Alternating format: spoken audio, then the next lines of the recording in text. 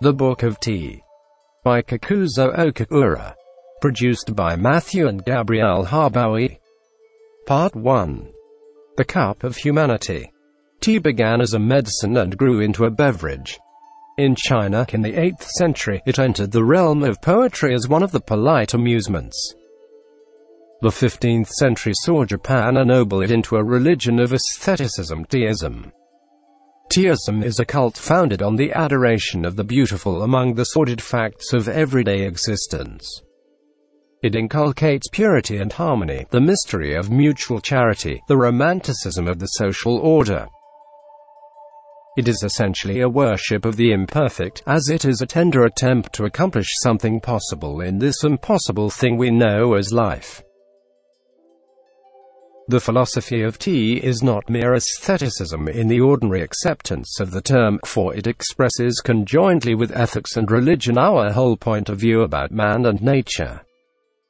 It is hygiene, for it enforces cleanliness. It is economics, for it shows comfort in simplicity rather than in the complex and costly. It is moral geometry, inasmuch as it defines our sense of proportion to the universe.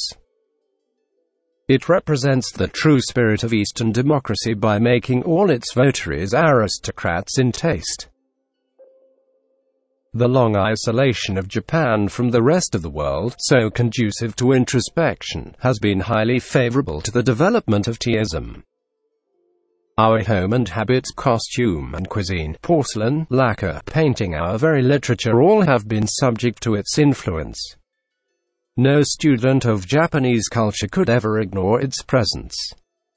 It has permeated the elegance of noble boudoirs, and entered the abode of the humble. Our peasants have learned to arrange flowers, our meanest laborer to offer his salutation to the rocks and waters. In our common parlance we speak of the man with no tea in him, when he is insusceptible to the serio-comic interests of the personal drama. Again we stigmatize the untamed aesthete who, regardless of the mundane tragedy, runs riot in the spring tide of emancipated emotions, as one with too much tea in him. The outsider may indeed wonder at this seeming much ado about nothing. What a tempest in a teacup! He will say. But when we consider how small after all the cup of human enjoyment is, how soon overflowed with tears, how easily drained to the dregs in our quenchless thirst for infinity, we shall not blame ourselves for making so much of the teacup. Mankind has done worse. In the worship of Bacchus we have sacrificed too freely, and we have even transfigured the gory image of Mars. Why not consecrate ourselves to the Queen of the Camellias, and revel in the warm stream of sympathy that flows from her altar? In the liquid amber within the ivory porcelain, the initiated may touch the sweet reticence of Confucius, the piquancy of Lao Tse, and the ethereal aroma of Sakyamuni himself.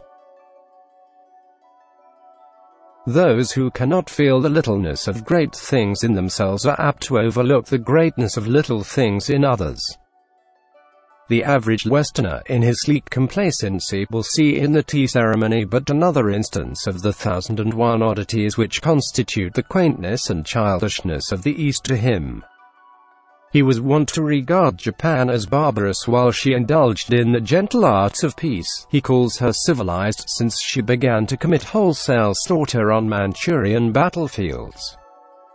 Much comment has been given lately to the code of the samurai, the art of death which makes our soldiers exult in self-sacrifice, but scarcely any attention has been drawn to teaism, which represents so much of our art of life.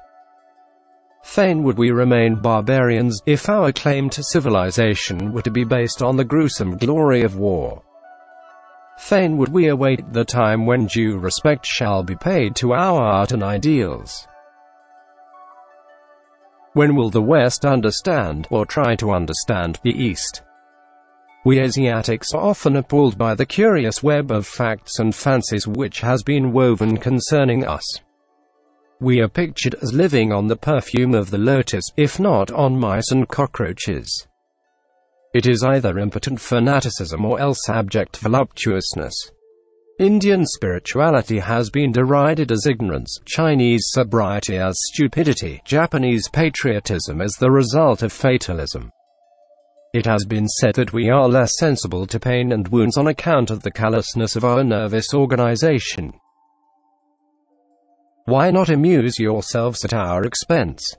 Asia returns the compliment.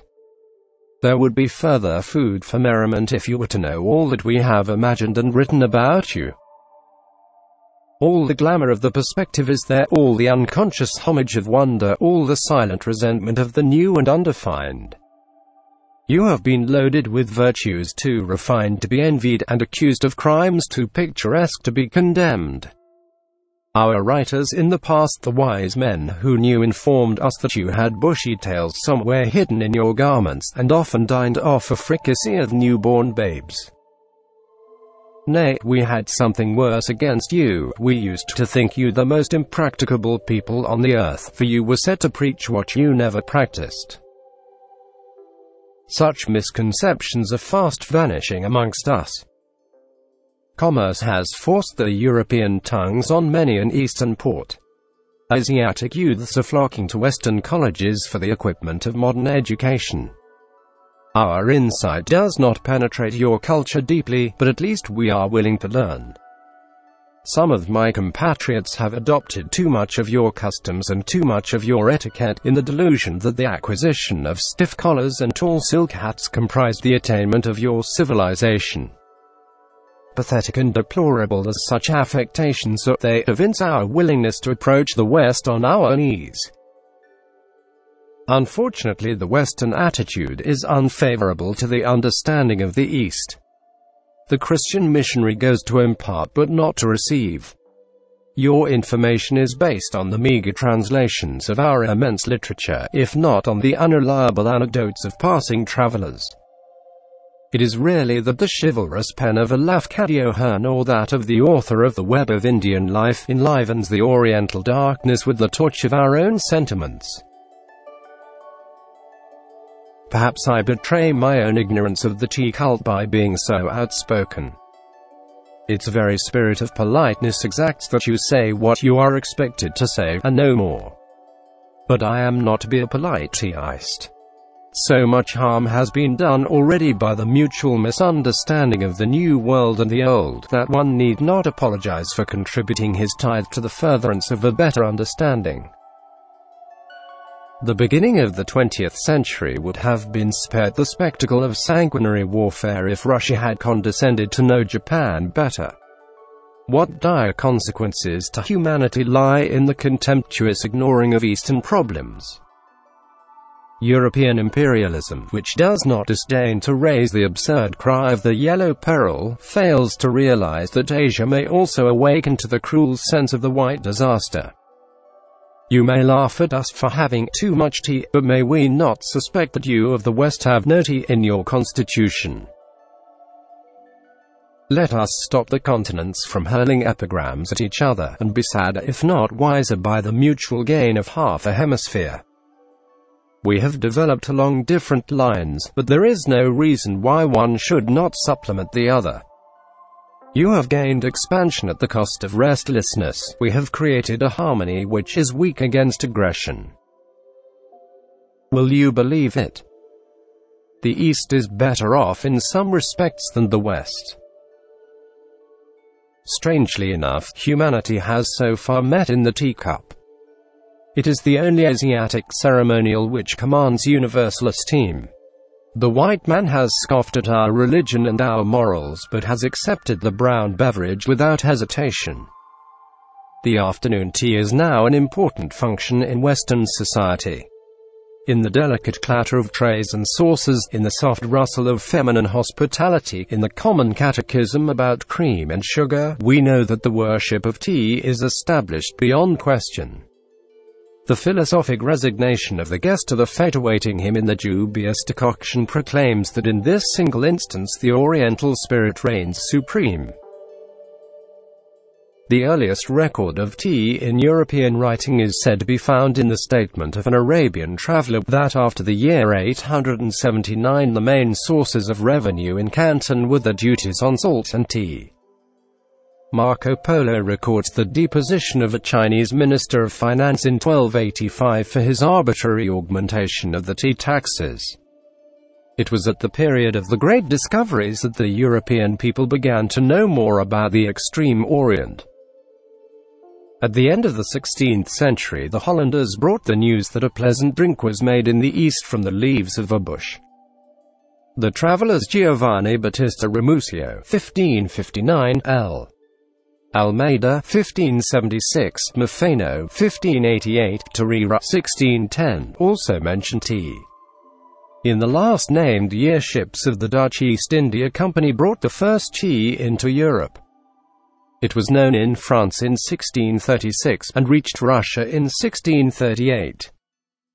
England welcomed it in 1650 and spoke of it as that excellent and by all physicians approved China drink called by the Chineans cha, and by other nations te alias tea. Like all good things of the world, the propaganda of tea met with opposition. Heretics like Henry Saville (1678) denounced drinking it as a filthy custom. Jonas Hanway, Essay on Tea, 1756, said that men seem to lose their stature and comeliness, women their beauty through the use of tea. Its cost at the start, about 15 or 16 shillings a pound for bad popular consumption, and made it regalia for high treatments and entertainments, presents being made thereof to princes and grandees. Yet in spite of such drawbacks tea drinking spread with marvellous rapidity. The coffee houses of London in the early half of the 18th century became, in fact, tea houses, the resort of wits like Addison and Steele, who beguiled themselves over their dish of tea.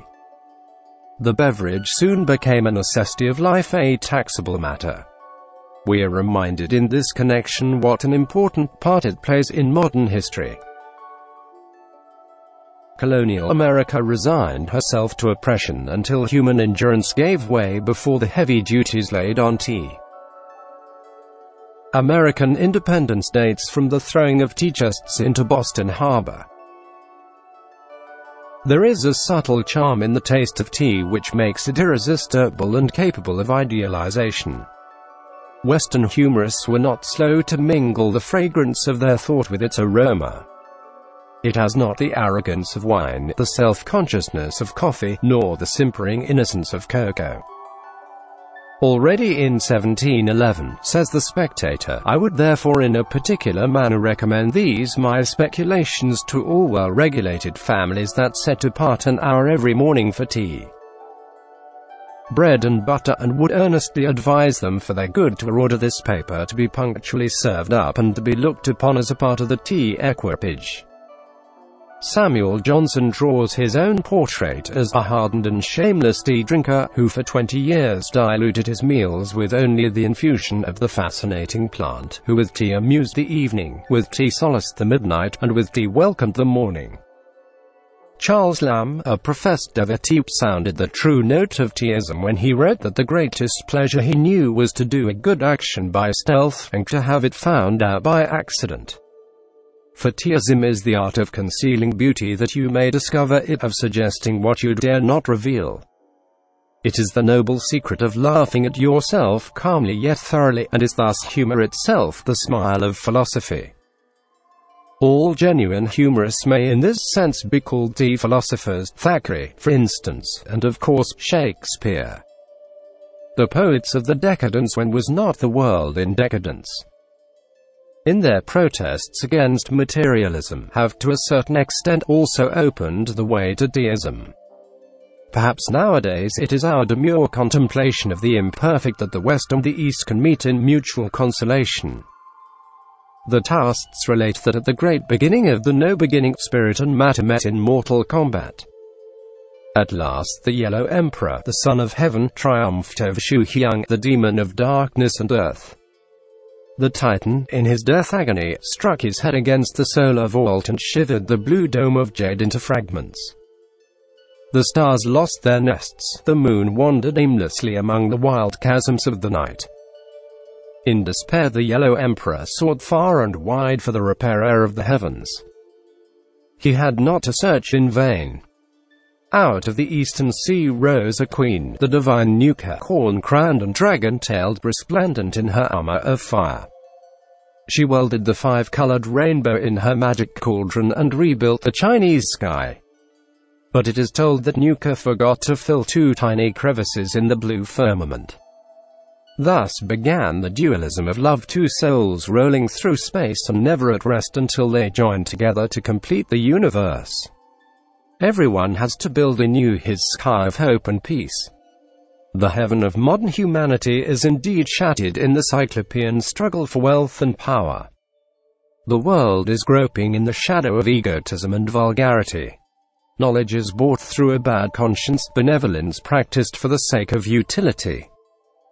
The East and the West, like two dragons tossed in a sea of ferment, in vain strive to regain the jewel of life. We need a Niuka again to repair the grand devastation. We await the great avatar. Meanwhile, let us have a sip of tea. The afternoon glow is brightening the bamboos, the fountains are bubbling with delight, the soughing of the pines is heard in our kettle.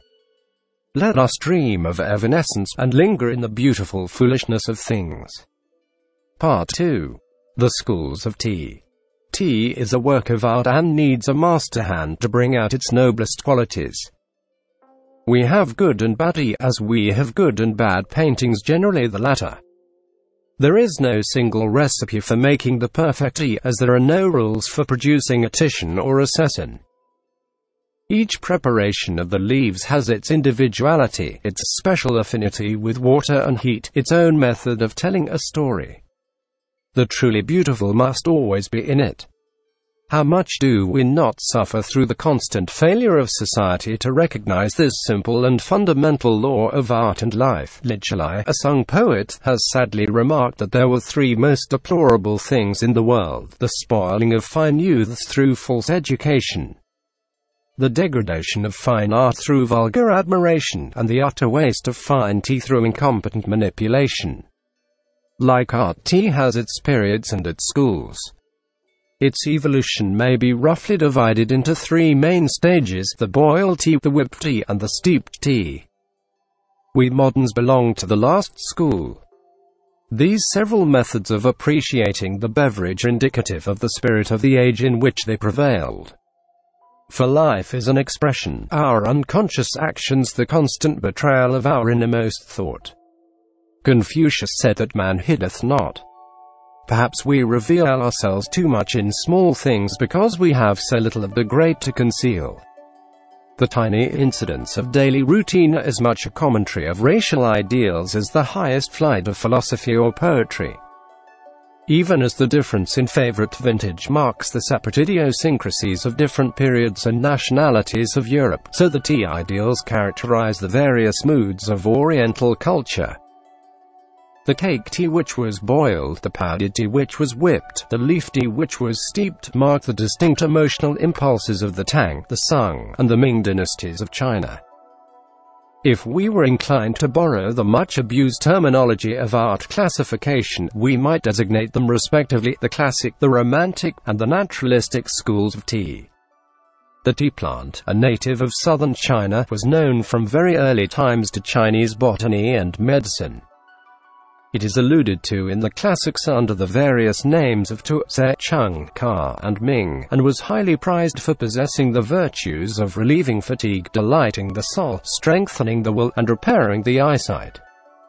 It was not only administered as an internal dose, but often applied externally in form of paste to alleviate rheumatic pains. The Taoists claimed it as an important ingredient of the elixir of immortality. The Buddhists used it extensively to prevent drowsiness during their long hours of meditation. By the 4th and 5th centuries tea became a favorite beverage among the inhabitants of the Yangtze Valley. It was about this time that modern ideograph cha was coined, evidently a corruption of the classic tu. The poets of the southern dynasties have left some fragments of their fervent adoration of the froth of the liquid jade. Then emperors used to bestow some rare preparation of the leaves on their high ministers as a reward for eminent services. Yet the method of drinking tea at this stage was primitive in the extreme. The leaves were steamed, crushed in a mortar, made into a cake, and boiled together with rice, ginger, salt, orange peel, spices, milk, and sometimes with onions.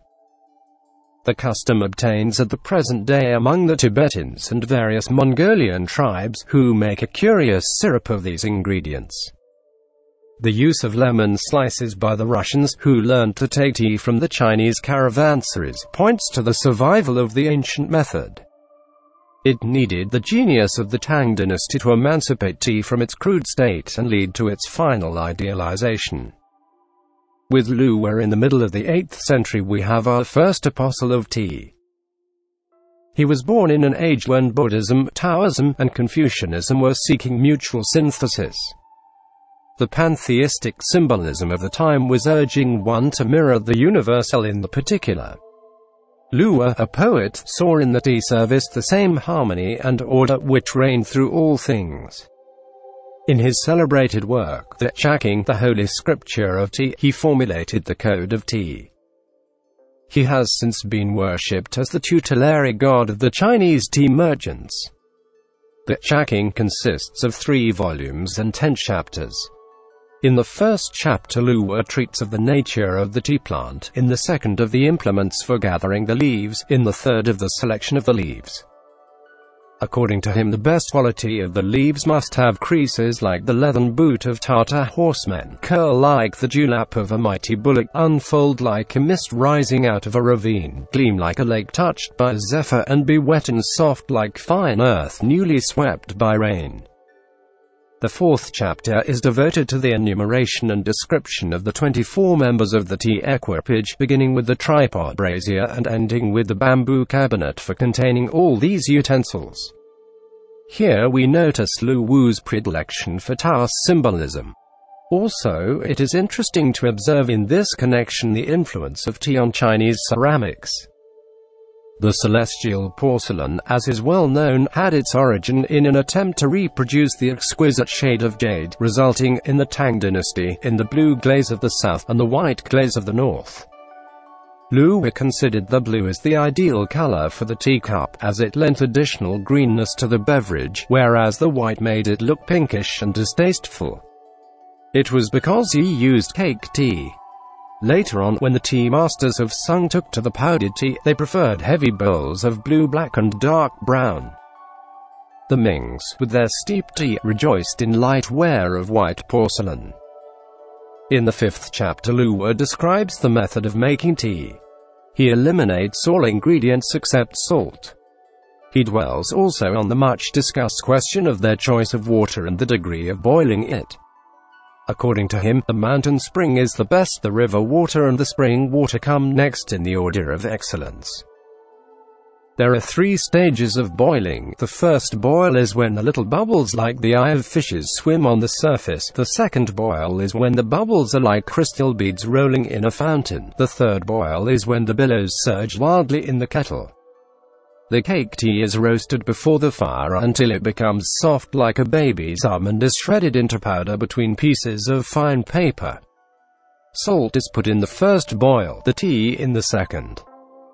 At the third boil, a dipperful of cold water is poured into the kettle to settle the tea and revive the youth of the water. Then the beverage was poured into cups and drunk. O nectar! The filmy leaflet hung like scaly clouds in a serene sky or floated like water lilies on emerald streams. It was of such a beverage that Lotung, a Tang poet, wrote, The first cup moistens my lips and throat, the second cup breaks my loneliness, the third cup searches my barren entrail but to find therein some five thousand volumes of ideographs.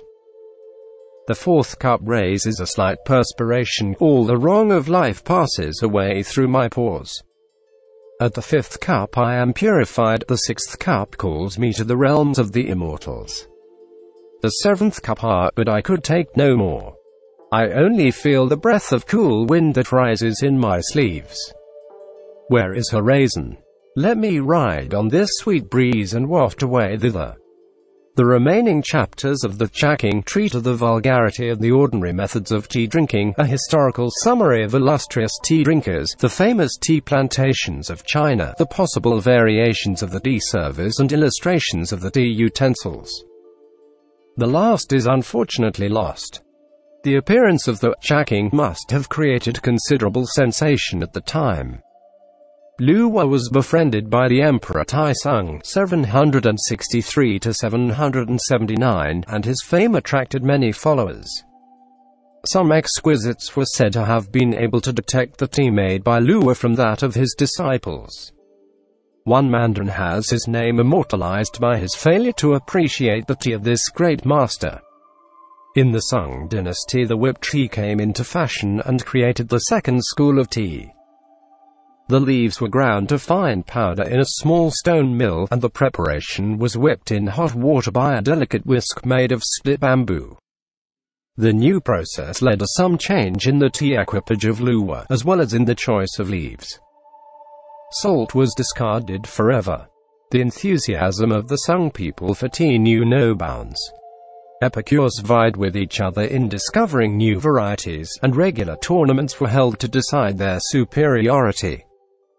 The Emperor Sung (1101–1124), who was too great an artist to be a well-behaved monarch, lavished his treasures on the attainment of rare species. He himself wrote a dissertation on the 20 kinds of tea, among which he prizes that white tea as of the rarest and finest quality. The tea ideal of the Sungs differed from the Tangs even as their notion of life differed. They sought to actualize what their predecessors tried to symbolize. To the Neo-Confucian mind the cosmic law was not reflected in the phenomenal world, but the phenomenal world was the cosmic law itself. Eons were but moments nirvana always within grasp. The Taoist conception that immortality lay in the eternal change permeated all their modes of thought. It was the process, not the deed, which was interesting. It was the completing, not the completion, which was really vital. Man came thus at once face to face with nature. A new meaning grew into the art of life. The tea began to be not a poetical pastime, but one of the methods of self-realization.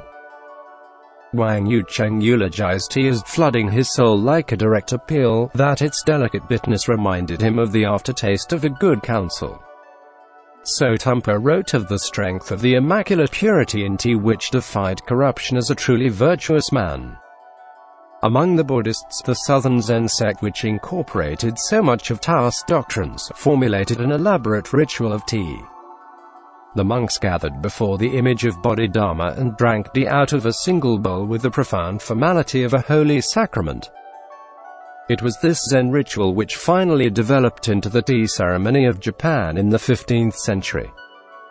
Unfortunately the sudden outburst of the Mongol tribes in the 13th century which resulted in the devastation and conquest of China under the barbaric rule of the Yuan emperors, destroyed all the fruits of Sung culture.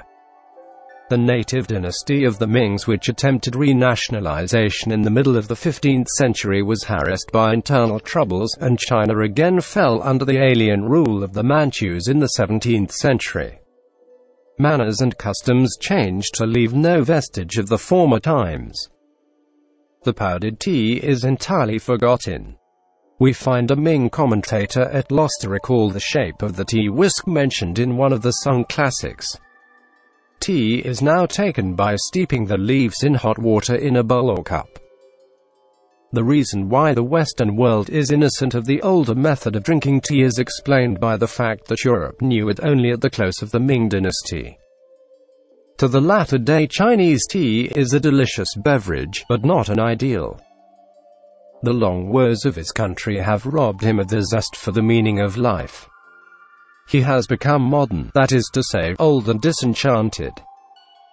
He has lost that sublime faith in illusions which constitutes the eternal youth and vigor of the poets and ancients. He is an eclectic and politely accepts the traditions of the universe. He toys with nature, but does not condescend to conquer or worship her. His leaf tea is often wonderful with its flower-like aroma, but the romance of the Tang and Sung ceremonials are not to be found in his cup. Japan, which followed closely on the footsteps of Chinese civilization, has known the tea in all its three stages. As early as the year 729 we read of the Emperor Shomu giving tea to 100 monks at his palace in Nara. The leaves were probably imported by our ambassadors to the Tang court and prepared in the way then in fashion. In 801 the monk Saicho brought back some seeds and planted them in Yeisan. Many tea gardens are heard of in succeeding centuries, as well as the delight of the aristocracy and priesthood in the beverage. The Sung tea reached us in 1191, with the return of Yeisai who went there to study the southern Zen school. The new seeds which he carried home were successfully planted in three places, one of which, the Ujai district near Kyoto, bears still the name of producing the best tea in the world. The southern Zen spread with marvelous rapidity, and with it the tea ritual and the tea ideal of the Sung. By the 15th century, under the patronage of the shogun Ashikaga Yoshimasa, the tea ceremony is fully constituted and made into an independent and secular performance. Since then teaism is fully established in Japan. The use of the steeped tea of the later China is comparatively recent among us, being only known since the middle of the 17th century. It has replaced the powdered tea in ordinary consumption, though the latter still continues to hold its place as the tea of teas. It is in the Japanese tea ceremony that we see the culmination of tea ideals. Our successful resistance of the Mongol invasion in 1281 had enabled us to carry on the Sung movement so disastrously cut off in China itself through the nomadic inroad. Tea with us became more than an idealization of the form of drinking, it is a religion of the art of life. The beverage grew to be an excuse for the worship of purity and refinement, a sacred function at which the host and guest joined to produce for that occasion the utmost beatitude of the mundane. The tea room was an oasis in the dreary waste of existence where weary travelers could meet to drink from the common spring of art appreciation. The ceremony was an improvised drama whose plot was woven about the tea, the flowers, and the paintings. Not a color to disturb the tone of the room, not a sound to mar the rhythm of things, not a gesture to obtrude on the harmony, not a word to break the unity of the surroundings, all movements to be performed simply and naturally such were the aims of the tea ceremony. And strangely enough it was often successful. A subtle philosophy lay behind it all. Teaism was Taoism in disguise. Part 3. Taoism and Zenism. The connection of Zenism with tea is proverbial.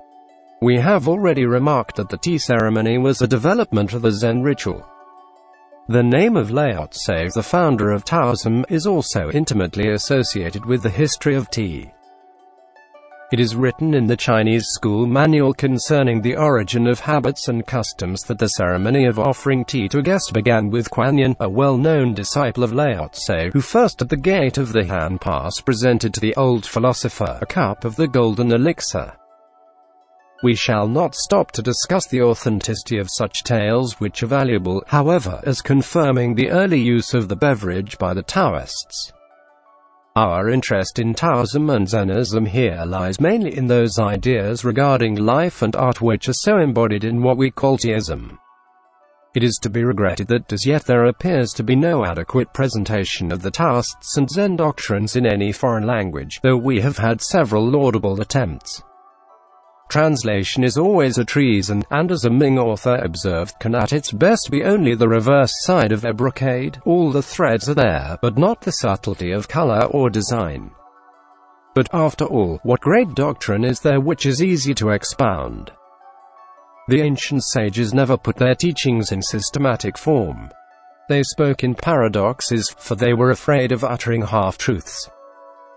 They began by talking like fools and ended by making their hearers wise. Lao Tse himself, with his quaint humor, says, if people of inferior intelligence hear of the Tao, they laugh immensely. It would not be the Tao unless they laughed at it. The Tao literally means a path. It has been severally translated as the way, the absolute, the law, nature, supreme reason, the mode. These renderings are not incorrect for the use of the term by the Taoists differs according to the subject matter of the inquiry.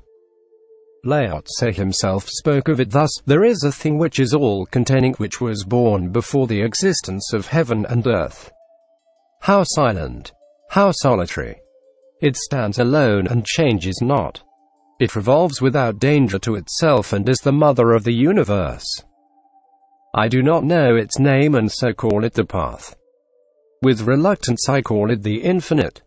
Infinity is the fleeting, the fleeting is the vanishing, the vanishing is the reverting. The Tao is in the passage rather than the path. It is the spirit of cosmic change, the eternal growth which returns upon itself to produce new forms.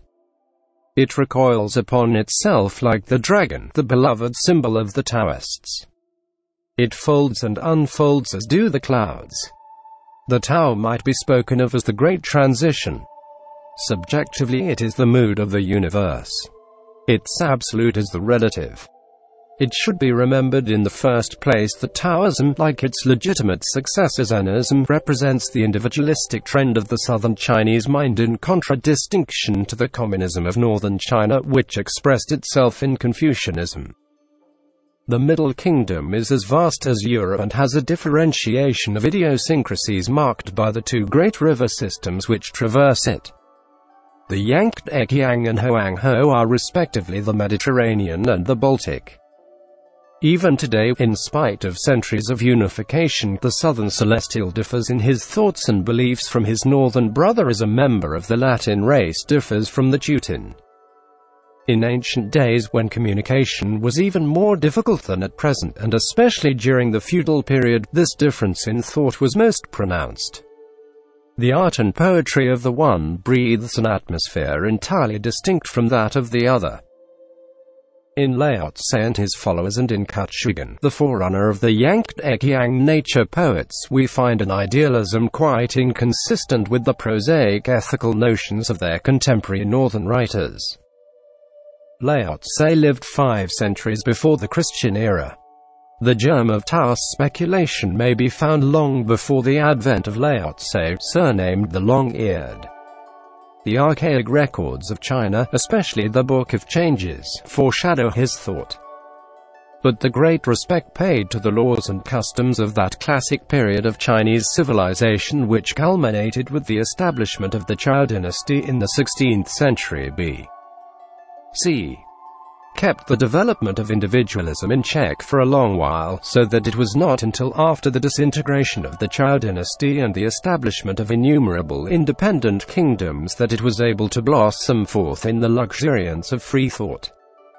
Lao Tse and Soshi Zhuangde were both Southerners and the greatest exponents of the new school. On the other hand, Confucius with his numerous disciples aimed at retaining ancestral conventions, Taoism cannot be understood without some knowledge of Confucianism, and vice versa. We have said that the Taoist absolute was the relative. In ethics the Taoist railed at the laws and the moral codes of society, for to them right and wrong were but relative terms. Definition is always limitation that fixed and unchangeless are but terms expressive of a stoppage of growth. Said Kosugin, the sages move the world. Our standards of morality are begotten of the past needs of society, but is society to remain always the same?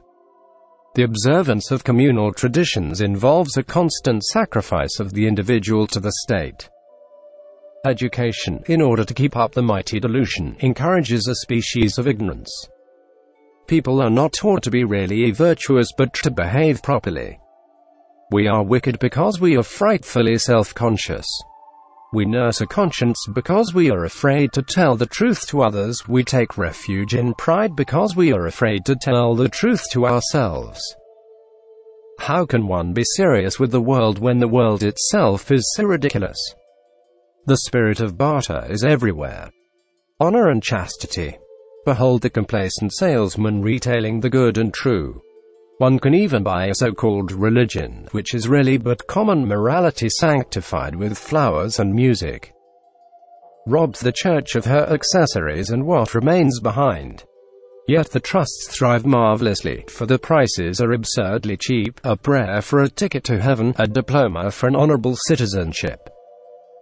Hide yourself under a bushel quickly, for if your real usefulness were known to the world you would soon be knocked down to the highest bidder by the public auctioneer. Why do men and women like to advertise themselves so much? Is it not but an instinct derived from the days of slavery? The virility of the idea lies not less in its power of breaking through contemporary thought than in its capacity for dominating subsequent movements. Taoism was an active power during the Qin dynasty, that epoch of Chinese unification from which we derive the name China. It would be interesting had we time to note its influence on contemporary thinkers, the mathematicians, writers on law and war, the mystics and alchemists and the later nature poets of the Yang We should not even ignore those speculators on reality who doubted whether a white horse was real because he was white, or because he was solid, nor the conversationalists of the Six Dynasties who, like the Zen philosophers, reveled in discussions concerning the pure and the abstract. Above all we should pay homage to Taoism for what it has done toward the formation of the celestial character, giving to it a certain capacity for reserve and refinement as warm as jade. Chinese history is full of instances in which the votaries of Taoism, princes and hermits alike, followed with varied and interesting results the teachings of their creed. The tale will not be without its quota of instruction and amusement. It will be rich in anecdotes, allegories, and aphorisms. We would fain be on speaking terms with the delightful emperor who never died because he had never lived. We may ride the wind with Li and find it absolutely quiet because we ourselves are the wind, or dwell in midair with the aged one of the Hoang Ho, who lived betwixt heaven and earth because he was subject to neither the one nor the other. Even in that grotesque apology for Taoism which we find in China at the present day, we can revel in a wealth of imagery impossible to find in any other cult. But the chief contribution of Taoism to Asiatic life has been in the realm of aesthetics.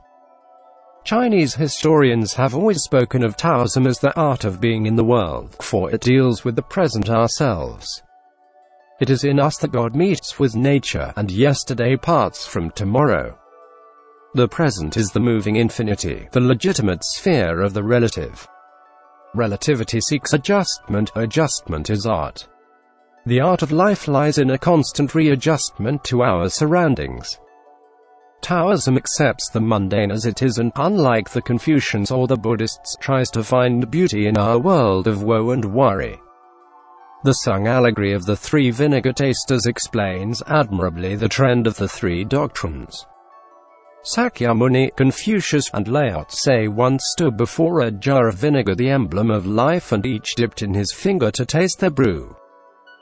The matter of fact Confucius found it sour, the Buddha called it bitter, and Lao Tse pronounced it sweet. The Taoists claimed that the comedy of life could be made more interesting if everyone would preserve the unities to keep the proportion of things and give place to others without losing one's own position was the secret of success in the mundane drama. We must know the whole play in order to properly act our parts. The conception of totality must never be lost in that of the individual. This Lao Tse illustrates by his favorite metaphor of the vacuum. He claimed that only in vacuum lay the truly essential. The reality of a room, for instance, was to be found in the vacant space enclosed by the roof and the walls, not in the roof and walls themselves. The usefulness of a water pitcher dwelt in the emptiness where water might be put, not in the form of the pitcher or the material of which it was made. The vacuum is all-potent because all-containing. In vacuum alone motion becomes possible one who could make of himself a vacuum into which others might freely enter would become master of all situations. The whole can always dominate the part. These Taoists' ideas have greatly influenced all our theories of action, even to those of fencing and wrestling. Jiu-Jitsu, the Japanese art of self-defense, owes its name to a passage in the Tao Te Ching. In Jiu-Jitsu one seeks to draw out and exhaust the enemy's strength by non-resistance vacuum, while conserving one's own strength for victory in the final struggle.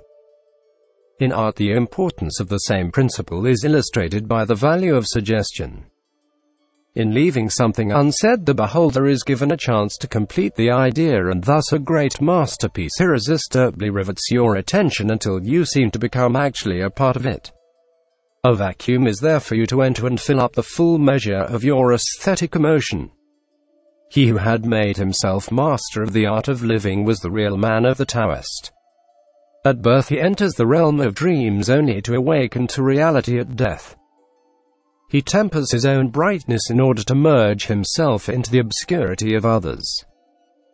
He is reluctant, as one who crosses a stream in winter, hesitating as one who fears the neighborhood, respectful, like a guest trembling, like ice that is about to melt, unassuming, like a piece of wood not yet carved, vacant, like a valley, formless, like troubled waters.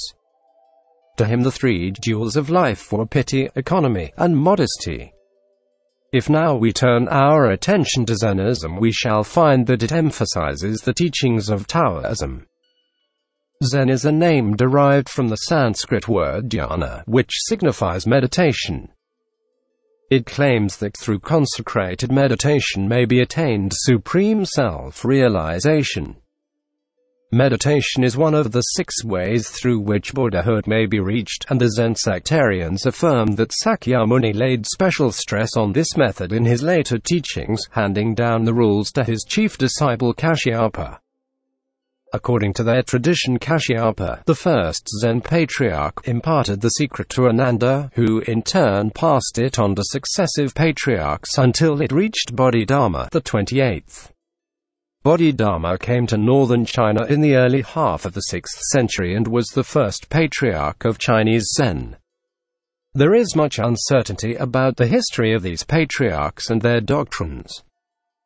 In its philosophical aspect early Zenism seems to have affinity on one hand to the Indian negativism of Nagarjuna and on the other to the Nan philosophy formulated by Sancharacharya.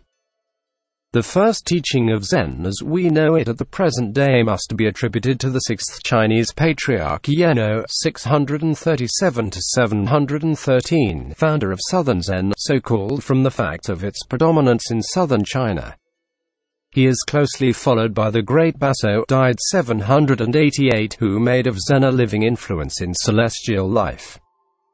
Hiakujo, 719-814, the pupil of Baso first instituted the Zen monastery and established a ritual and regulations for its government. In the discussions of the Zen school after the time of Baso we find the play of the Ekyang mind causing an accession of native modes of thought in contrast to the former Indian idealism. Whatever sectarian pride may assert to the contrary one cannot help being impressed by the similarity of Southern Zen to the teachings of Lao Tse and the Taoist conversationalists. In the Tao Te Ching we already find allusions to the importance of self-concentration and the need of properly regulating the breath essential points in the practice of Zen meditation. Some of the best commentaries on the Book of Lao Tse have been written by Zen scholars. Zenism, like Taoism, is the worship of relativity. One master defines Zen as the art of feeling the polar star in the southern sky. Truth can be reached only through the comprehension of opposites. Again, Zenism, like Taoism, is a strong advocate of individualism. Nothing is real except that which concerns the working of our own minds. Yeno, the sixth patriarch, once saw two monks watching the flag of a pagoda fluttering in the wind. One said, it is the wind that moved, the other said, it is the flag that moves, but Yeno explained to them that the real movement was neither of the wind nor the flag, but of something within their own minds. Hiakujo was walking in the forest with a disciple when a hare scurried off at their approach. Why does the hare fly from you? asked Hiakujo. Because he is afraid of me, was the answer. No, said the master, it is because you have murderous instinct. The dialogue recalls that of Soshi Chomte, the Taoist. One day Soshi was walking on the bank of a river with a friend. How delightfully the fishes are enjoying themselves in the water! exclaimed Soshi. His friend spake to him thus, You are not a fish, how do you know that the fishes are enjoying themselves? You are not myself, returned Soshi. How do you know that I do not know that the fishes are enjoying themselves? Zen was often opposed to the precepts of orthodox Buddhism even as Taoism was opposed to Confucianism. To the transcendental insight of the Zen, words were but an encumbrance to thought the whole sway of Buddha's scriptures only commentaries on personal speculation. The followers of Zen aimed at direct communion with the inner nature of things, regarding their outward accessories only as impediments to a clear perception of truth. It was this love of the abstract that led the Zen to prefer black and white sketches to the elaborately colored paintings of the classic Buddhist school. Some of the Zen even became iconoclastic as a result of their endeavor to recognize the Buddha in themselves rather than through images and symbolism. We find Tankawasho breaking up a wooden statue of Buddha on a wintry day to make a fire. What sacrilege! said the horror-stricken bystander. I wish to get the Shali out of the ashes, calmly rejoined the Zen. But you certainly will not get Shali from this image was the angry retort, to which Tanka replied, If I do not, this is certainly not a Buddha and I am committing no sacrilege. Then he turned to warm himself over the kindling fire. A special contribution of Zen to Eastern thought was its recognition of the mundane as of equal importance with the spiritual. It held that in the great relation of things there was no distinction of small and great, an atom possessing equal possibilities with the universe. The seeker for perfection must discover in his own life the reflection of the inner light. The organization of the Zen monastery was very significant of this point of view. To every member, except the abbot, was assigned some special work in the caretaking of the monastery, and curiously enough, to the novices was committed the lighter duties, while to the most respected and advanced monks were given the more irksome and menial tasks. Such services formed a part of the Zen discipline and every least action must be done absolutely perfectly. Thus many a weighty discussion ensued while weeding the garden, paring a turnip, or serving tea. The whole ideal of teaism is a result of this Zen conception of greatness in the smallest incidents of life. Taoism furnished the basis for aesthetic ideals, Zenism made them practical. Part 4. The Tea Room to European architects brought up on the traditions of stone and brick construction, our Japanese method of building with wood and bamboo seems scarcely worthy to be ranked as architecture. It is but quite recently that a competent student of Western architecture has recognized and paid tribute to the remarkable perfection of our great temples. Such being the case as regards our classic architecture, we could hardly expect the outsider to appreciate the subtle beauty of the tea room, its principles of construction and decoration being entirely different from those of the West. The tea room, the sukiya, does not pretend to be other than a mere cottage, a straw hut, as we call it. The original ichinographs for sukiya mean the abode of fancy. Latterly the various tea masters substituted various Chinese characters according to their conception of the tea room, and the term sukiya may signify the abode of vacancy or the abode of the unsymmetrical.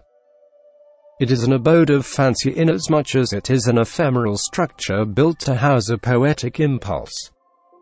It is an abode of vacancy inasmuch as it is devoid of ornamentation except for what in may be placed in it to satisfy some aesthetic need of the moment. It is an abode of the unsymmetrical inasmuch as it is consecrated to the worship of the imperfect, purposely leaving something unfinished for the play of the imagination to complete.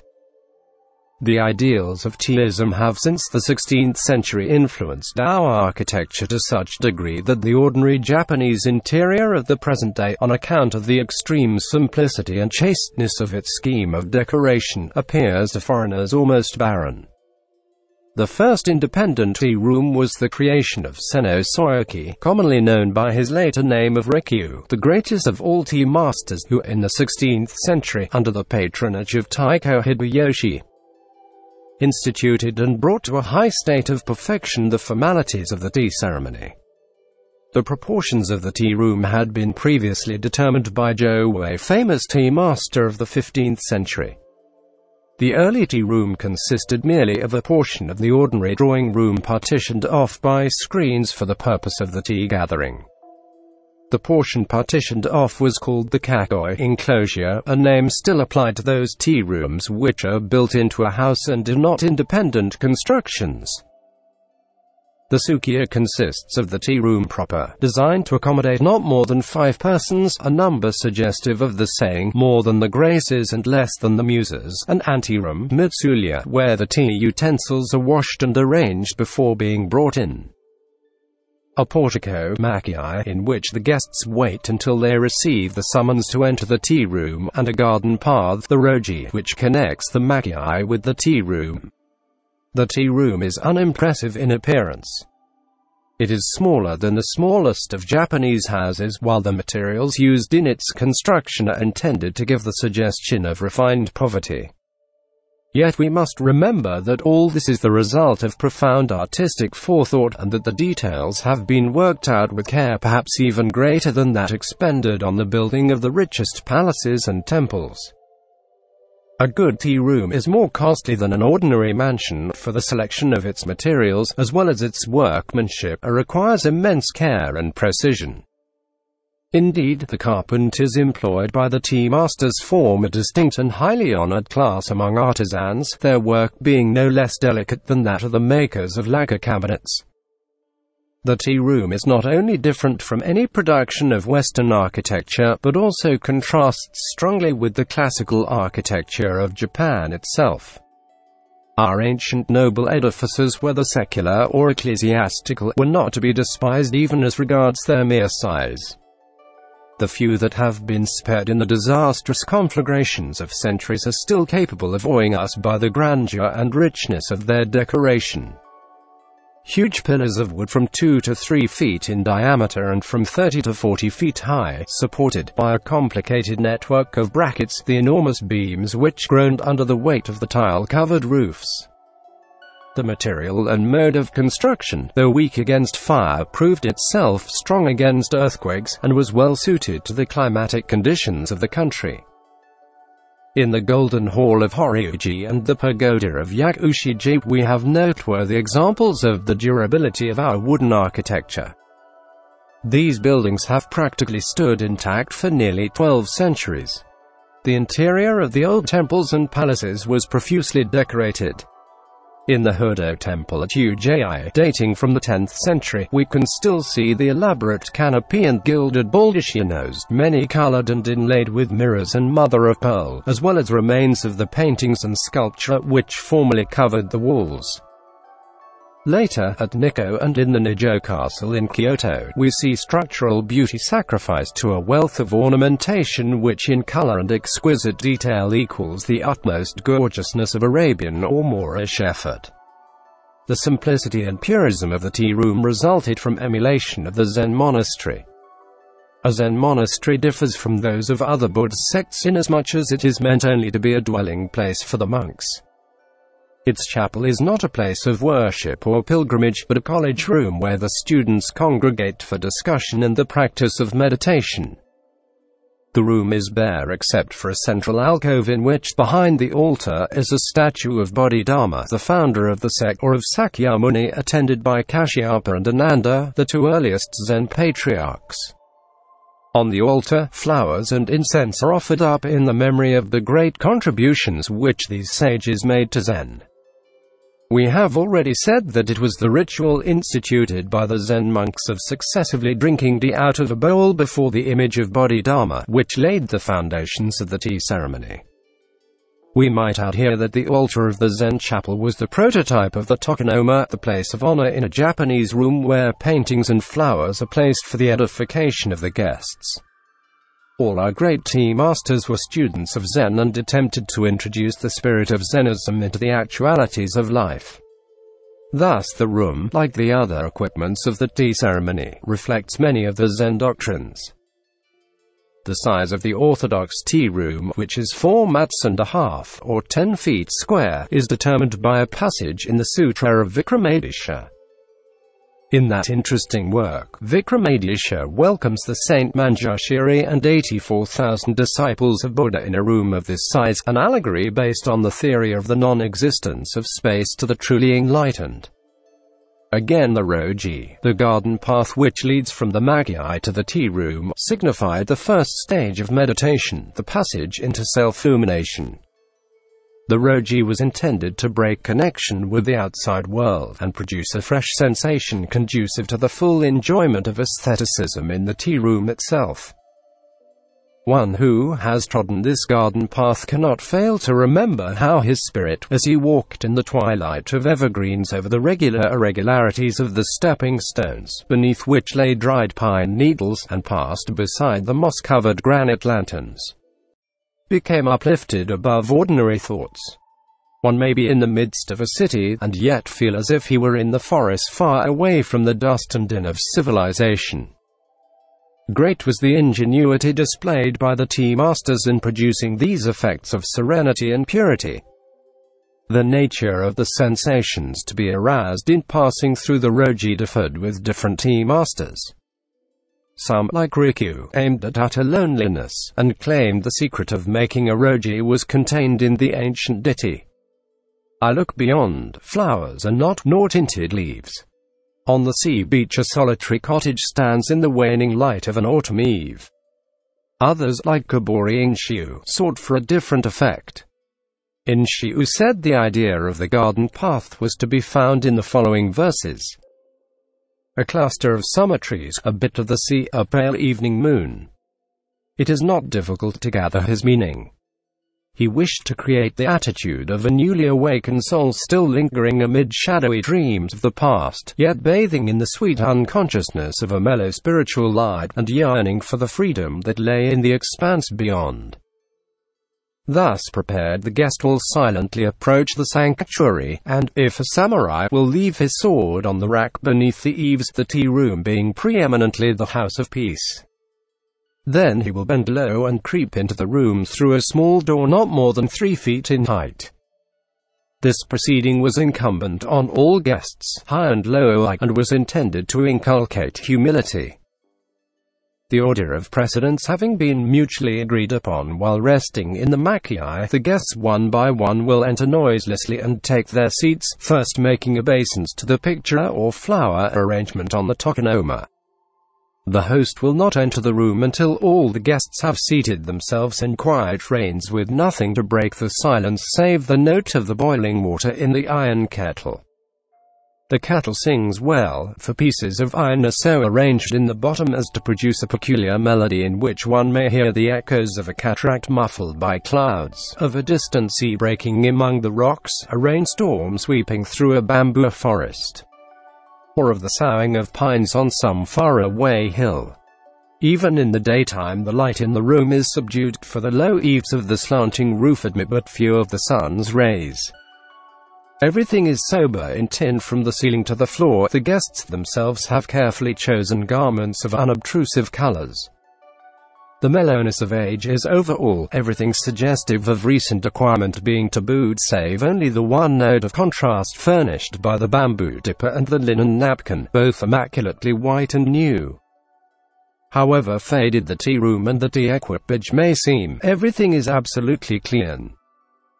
Not a particle of dust will be found in the darkest corner, for if any exists the host is not a tea master.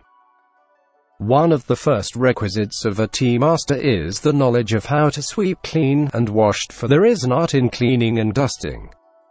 A piece of antique metal work must not be attacked with the unscrupulous zeal of the Dutch housewife. Dripping water from a flower vase need not be wiped away, for it may be suggestive of dew and coolness. In this connection there is a story of Rikyu which well illustrates the ideas of cleanliness entertained by the tea masters. Rikyu was watching his son Shoin as he swept and watered the garden path. Not clean enough, said Rikyu, when Shoin had finished his task, and bade him try again. After a weary hour the son turned to Rikyu, Father, there is nothing more to be done. The steps have been washed for the third time, the stone lanterns and the trees are well sprinkled with water, moss and lichens are shining with a fresh verdure, not a twig, not a leaf have I left on the ground. Young fool, chided the tea master, that is not the way a garden path should be swept. Saying this Rikyu stepped into the garden, shook a tree and scattered over the garden gold and crimson leaves, scraps of the brocade of autumn. What Rikiu demanded was not cleanliness alone, but the beautiful and the natural also. The name, Abode of Fancy, implies a structure created to meet some individual artistic requirement. The tea room is made for the tea master, not the tea master for the tea room. It is not intended for posterity and is therefore ephemeral. The idea that everyone should have a house of his own is based on an ancient custom of the Japanese race, Shinto superstition ordaining that every dwelling should be evacuated on the death of its chief occupant. Perhaps there may have been some unrealized sanitary reason for this practice. Another early custom was that a newly built house should be provided for each couple that married. It is on account of such customs that we find the imperial capitals so frequently removed from one site to another in ancient days. The rebuilding, every 20 years devised temple, the supreme shrine of the sun goddess, is an example of one of these ancient rites which still obtain at the present day. The observance of these customs was only possible with some form of construction as that furnished by our system of wooden architecture, easily pulled down, easily built up. A more lasting style, employing brick and stone, would have rendered migrations impracticable, as indeed they became when the more stable and massive wooden construction of China was adopted by us after the Nara period. With the predominance of Zen individualism in the 15th century, however, the old idea became imbued with a deeper significance as conceived in connection with the tea room. Zenism, with the Buddhist theory of evanescence and its demands for the mastery of spirit over matter, recognized the house only as a temporary refuge for the body. The body itself was but as a hut in the wilderness, a flimsy shelter made by tying together the grasses that grew around. When these ceased to be bound together they again became resolved into the original waste. In the tea room fugitiveness is suggested in the thatch roof, frailty in the slender pillars, lightness in the bamboo support, apparent carelessness in the use of commonplace materials. The eternal is to be found only in the spirit which, embodied in these simple surroundings, beautifies them with the subtle light of its refinement. That the tea room should be built to suit some individual taste is an enforcement of the principle of vitality in art. Art, to be fully appreciated, must be true to contemporaneous life. It is not that we should ignore the claims of posterity, but that we should seek to enjoy the present more. It is not that we should disregard the creations of the past, but that we should try to assimilate them into our consciousness. Slavish conformity to traditions and formulas fetters the expression of individuality in architecture. We can but weep over the senseless imitations of European buildings which one beholds in modern Japan. We marvel why, among the most progressive Western nations, architecture should be so devoid of originality, so replete with repetitions of obsolete styles. Perhaps we are passing through an age of democratization in art while awaiting the rise of some princely master who shall establish a new dynasty. Would that we loved the ancients more and copied them less.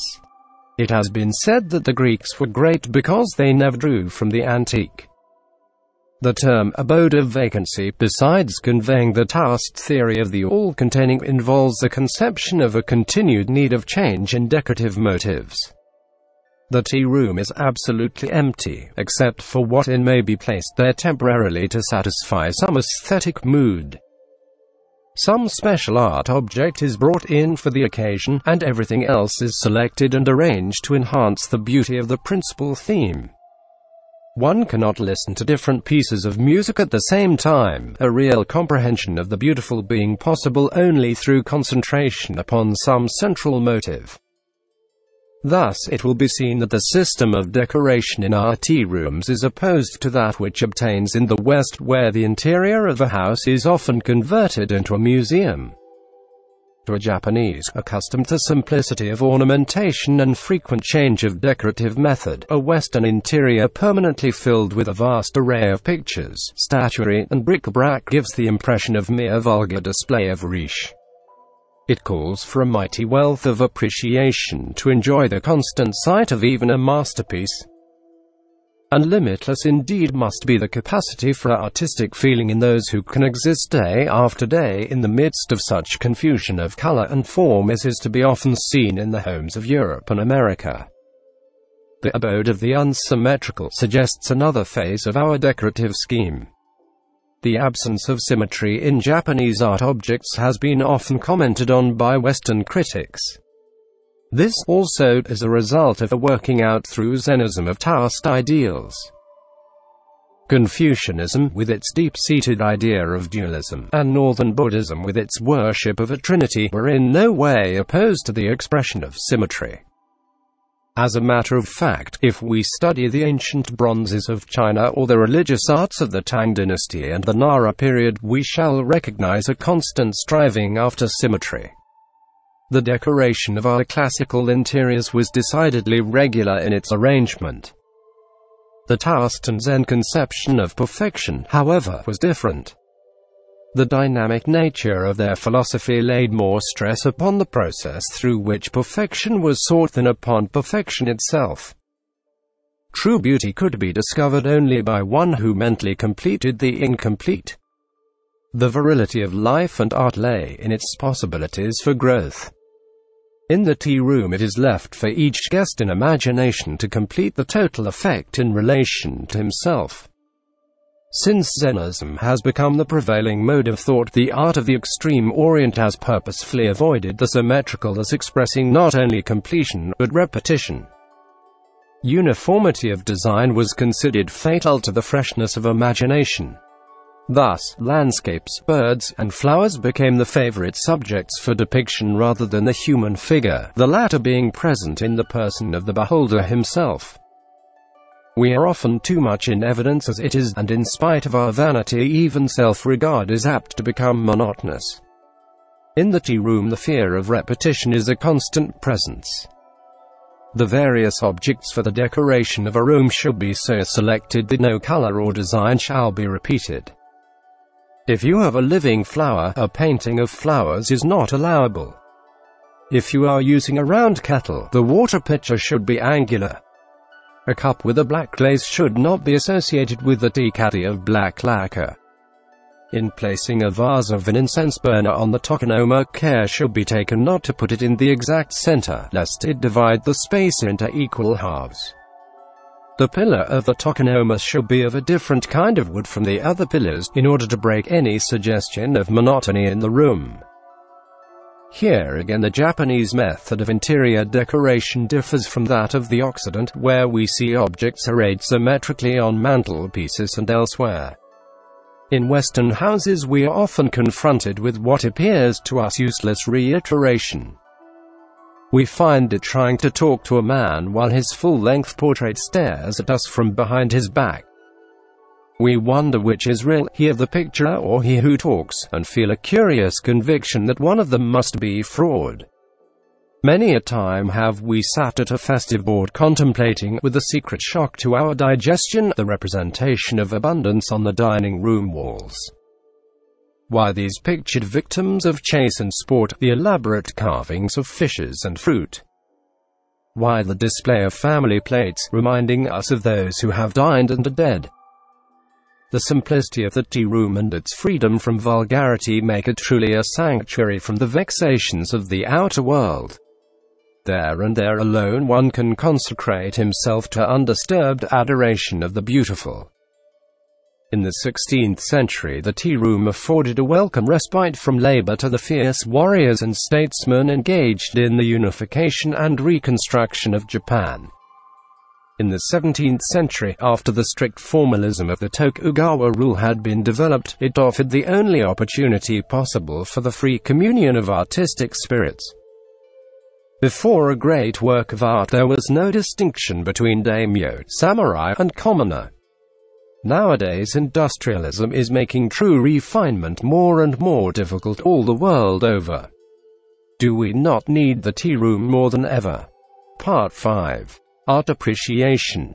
Have you heard the Taoist tale of the taming of the harp? Once in the hoary ages in the ravine of Lungmen stood a Kiri tree, a veritable king of the forest. It reared its head to talk to the stars, its roots struck deep into the earth, mingling their bronzed coils with those of the silver dragon that slept beneath. And it came to pass that a mighty wizard made of this tree a wondrous harp, whose stubborn spirit should be tamed but by the greatest of musicians. For long the instrument was treasured by the Emperor of China, but all in vain were the efforts of those who in turn tried to draw melody from its strings. In response to their utmost strivings there came from the harp but harsh notes of disdain, ill according with the songs they fain would sing. The harp refused to recognize a master. At last came Peiwo, the prince of harpists. With tender hand he caressed the harp as one might seek to soothe an unruly horse, and softly touched the chords. He sang of nature and the seasons, of high mountains and flowing waters, and all the memories of the tree awoke. Once more the sweet breath of spring played amidst its branches. The young cataracts, as they danced down the ravine, laughed to the budding flowers. Anon were heard their dreamy voices of summer with its myriad insects, the gentle pattering of rain, the wail of the cuckoo. Hark! A tiger roars, the valley answers again. It is autumn, in the desert night, sharp like a sword gleams the moon upon the frosted grass.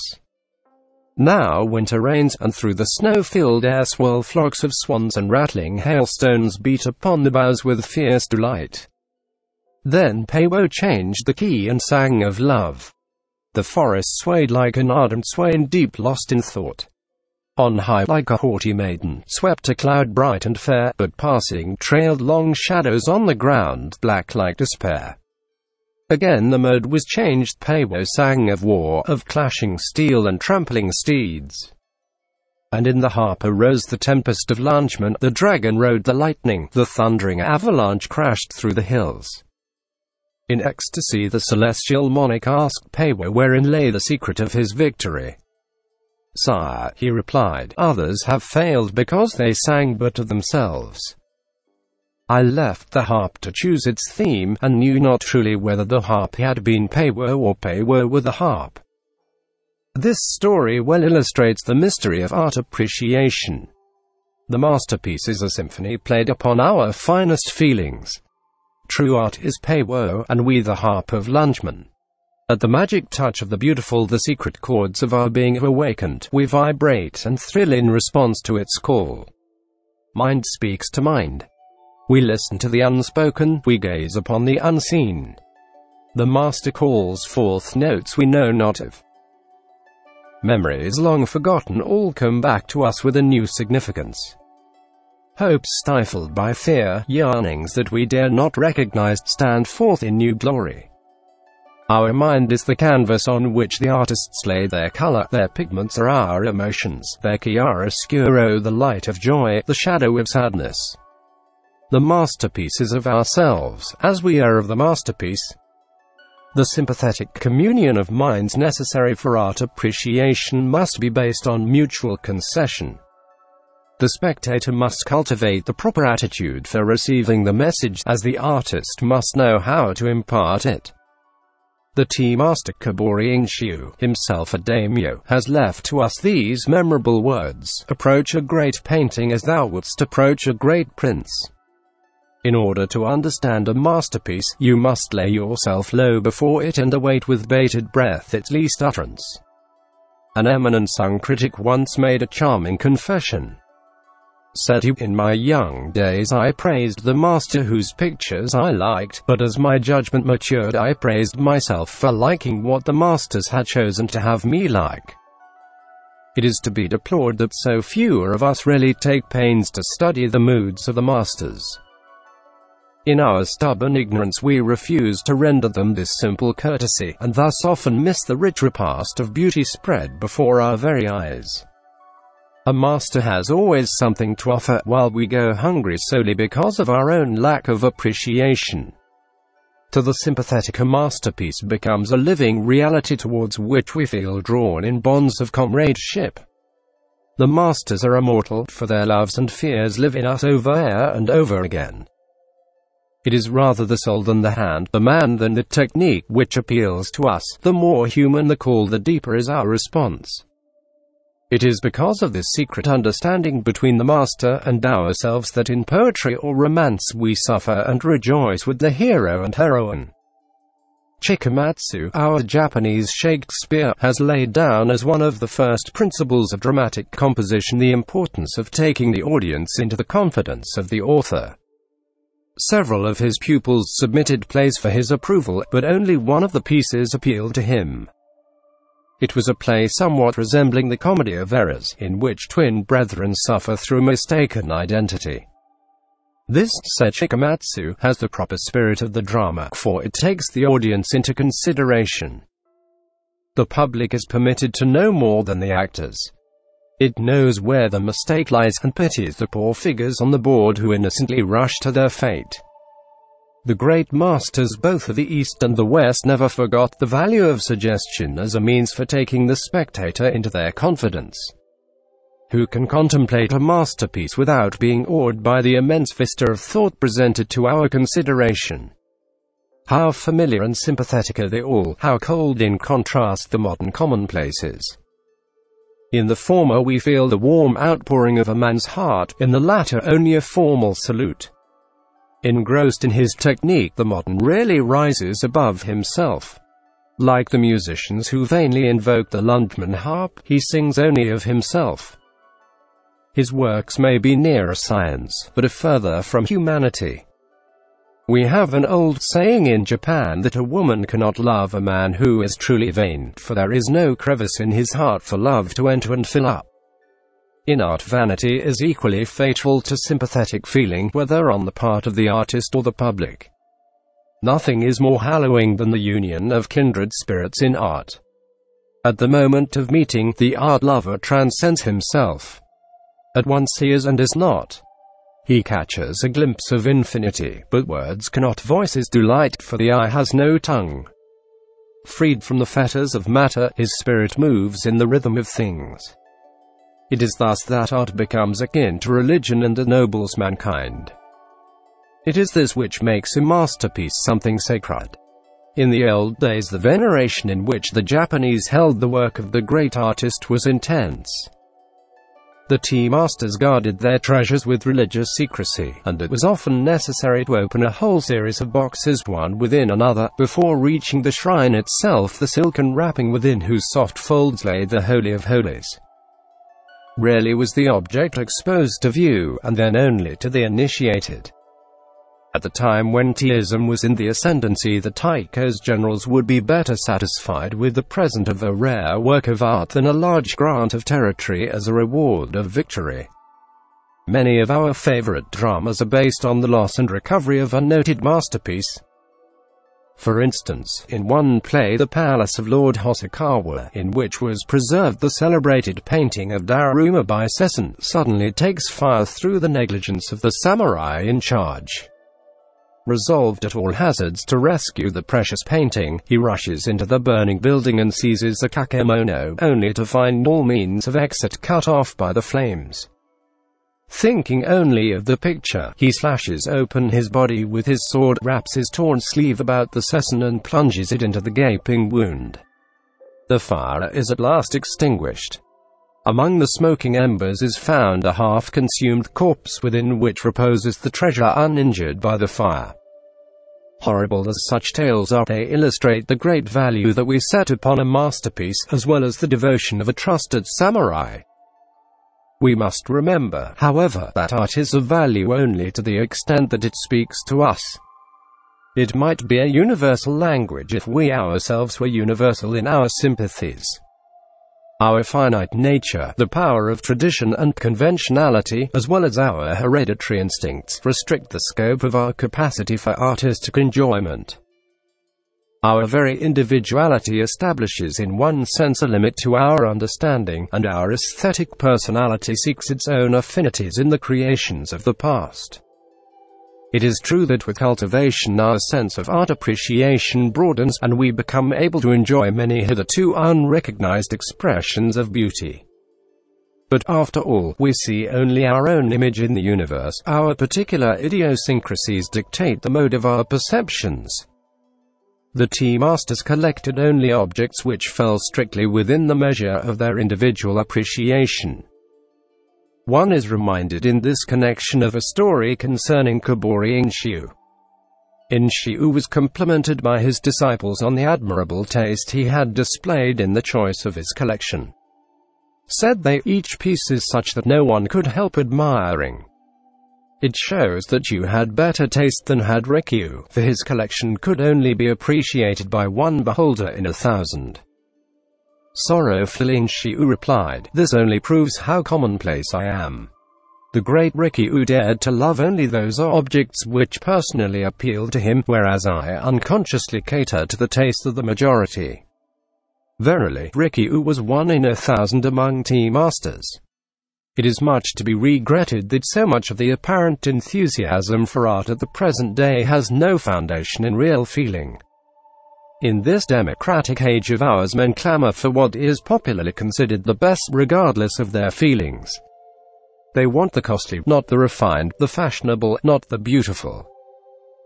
To the masses, contemplation of illustrated periodicals, the worthy product of their own industrialism, would give more digestible food for artistic enjoyment than the early Italians or the Ashikaga masters, whom they pretend to admire.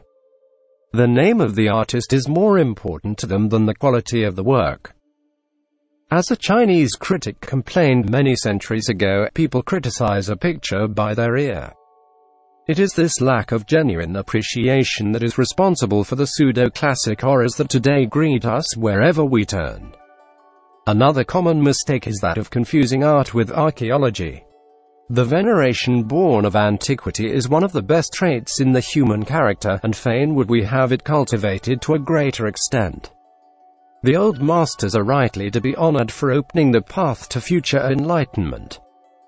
The mere fact that they have passed unscathed through centuries of criticism and come down to us still covered with glory commands our respect. But we should be foolish indeed if we valued their achievements simply on the score of age. Yet we allow our historical sympathy to override our aesthetic discrimination. We offer flowers of approbation when the artist is safely laid in his grave. The 19th century, pregnant with the theory of evolution, has moreover created in us the habit of losing sight of the individual in the species. A collector is anxious to acquire specimens to illustrate a period or a school, and forgets that a single masterpiece can teach us more than any number of the mediocre products of a given period or school. We classify too much and enjoy too little. The sacrifice of the aesthetic to the so-called scientific method of exhibition has been the bane of many museums. The claims of contemporary art cannot be ignored in any vital scheme of life. The art of today is that which really belongs to us, it is our own reflection. In condemning it we but condemn ourselves. We say that the present age possesses no art who is responsible for this. It is indeed a shame that despite all our rhapsodies about the ancients we pay so little attention to our own possibilities. Struggling artists, weary souls lingering in the shadow of cold disdain. In our self-centered century, what inspiration do we offer them? The past may well look with pity at the poverty of our civilization, the future will laugh at the barrenness of our art. We are destroying the beautiful in life. Would that some great wizard might from the stem of society shape a mighty harp whose strings would resound to the touch of genius. Part 6. Flowers. In the trembling grey of a spring dawn, when the birds were whispering in mysterious cadence among the trees, have you not felt that they were talking to their mates about the flowers? Surely with mankind the appreciation of flowers must have been coeval with the poetry of love. Where better than in a flower, sweet in its unconsciousness, fragrant because of its silence, can we image the unfolding of a virgin soul? The primeval man in offering the first garland to his maiden thereby transcended the brute. He became human and thus rising above the crude necessities of nature. He entered the realm of art when he perceived the subtle use of the useless. In joy or sadness, flowers are our constant friends. We eat, drink, sing, dance, and flirt with them. We wed and christen with flowers. We dare not die without them. We have worshipped with the lily, we have meditated with the lotus, we have charged in battle array with the rose and the chrysanthemum. We have even attempted to speak in the language of flowers. How could we live without them? It frightens one to conceive of a world bereft of their presence. What solace do they not bring to the bedside of the sick? What a light of bliss to the darkness of weary spirits. Their serene tenderness restores to us our waning confidence in the universe even as the intent gaze of a beautiful child recalls our lost hopes. When we are laid low in the dust it is they who linger in sorrow over our graves. Sad as it is, we cannot conceal the fact that in spite of our companionship with flowers we have not risen very far above the brute. Scratch the sheepskin and the wolf within us will soon show his teeth. It has been said that a man at 10 is an animal, at 20 a lunatic, at 30 a failure, at 40 a fraud, and at 50 a criminal. Perhaps he becomes a criminal because he has never ceased to be an animal. Nothing is real to us but hunger, nothing sacred except our own desires. Shrine after shrine has crumbled before our eyes, but one altar is forever preserved, that whereon we burn incense to the supreme idol, ourselves. Our God is great, and money is his prophet. We devastate nature in order to make sacrifice to him. We boast that we have conquered matter and forget that it is matter that has enslaved us. What atrocities do we not perpetrate in the name of culture and refinement? Tell me, gentle flowers, teardrops of the stars, standing in the garden, nodding your heads to the bees as they sing of the dews and the sunbeams, are you aware of the fearful doom that awaits you? Dream on, sway and frolic while you may in the gentle breezes of summer. Tomorrow a ruthless hand will close around your throats. You'll be wrenched, torn asunder limb by limb, and borne away from your quiet homes. The wretch, she may be passing fair. She may say how lovely you are while her fingers are still moist with your blood. Tell me, will this be kindness? It may be your fate to be imprisoned in the hair of one whom you know to be heartless or to be thrust into the buttonhole of one who would not dare to look you in the face were you a man. It may even be your lot to be confined in some narrow vessel with only stagnant water to quench the maddening thirst that warns of ebbing life. Flowers, if you were in the land of the Mikado, you might sometime meet a dread personage armed with scissors and a tiny saw. He would call himself a master of flowers. He would claim the rights of a doctor and you would instinctively hate him, for you know a doctor always seeks to prolong the troubles of his victims. He would cut, bend, and twist you into those impossible positions which he thinks it proper that you should assume. He would contort your muscles and dislocate your bones like any osteopath. He would burn you with red-hot coals to stop your bleeding, and thrust wires into you to assist your circulation. He would diet you with salt, vinegar, alum, and sometimes vitriol. Boiling water would be poured on your feet when you seem ready to faint. It would be his boast that he could keep life within you for two or more weeks longer than would have been possible without his treatment. Would you not have preferred to have been killed at once when you were first captured? What were the crimes you must have committed during your past incarnation to warrant such punishment in this? The wanton waste of flowers among Western communities is even more appalling than the way they are treated by Eastern flower masters. The number of flowers cut daily to adorn the ballrooms and banquet tables of Europe and America to be thrown away on the morrow must be something enormous, if strung together they might garland a continent. Beside this utter carelessness of life, the guilt of the flower master becomes insignificant. He at least respects the economy of nature, selects his victims with careful foresight, and after death does honor to their remains. In the West the display of flowers seems to be a part of the pageantry of wealth, the fancy of a moment. Whither do they all go, these flowers, when the revelry is over? Nothing is more pitiful than to see a faded flower remorselessly flung upon a dung heap. Why were the flowers born so beautiful and yet so hapless? Insects can sting, and even the meekest of beasts will fight when brought to bay. The birds whose plumage is sought to deck sunbonnet can fly from its pursuer. The furred animal whose coat you covet for your own may hide at your approach. Alas! The only flower known to have wings is the butterfly, all others stand helpless before the destroyer. If they shriek in their death agony their cry never reaches our hardened ears. We are ever brutal to those who love and serve us in silence, but the time may come when, for our cruelty, we shall be deserted by these best friends of ours. Have you not noticed that the wild flowers are becoming scarcer every year? It may be that their wise men have told them to depart till man becomes more human. Perhaps they have migrated to heaven. Much may be said in favor of him who cultivates plants. The man of the pot is far more humane than he of the scissors. We watch with delight his concern about water and sunshine, his feuds with parasites, his horror of frosts, his anxiety when the buds come slowly, his rapture when the leaves attain their luster. In the East the art of floriculture is a very ancient one, and the loves of a poet and his favorite plant have often been recorded in story and song. With the development of ceramics during the Tang and Sung dynasties we hear of wonderful receptacles made to hold plants, not pots, but jeweled palaces. A special attendant was detailed to wait upon each flower and to wash its leaves with soft brushes made of rabbit hair.